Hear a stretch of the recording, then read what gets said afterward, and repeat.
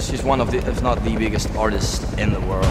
To be able to stand on a stage and feel that connection with human beings and that thing that only music can do with other humans is there's nothing like it.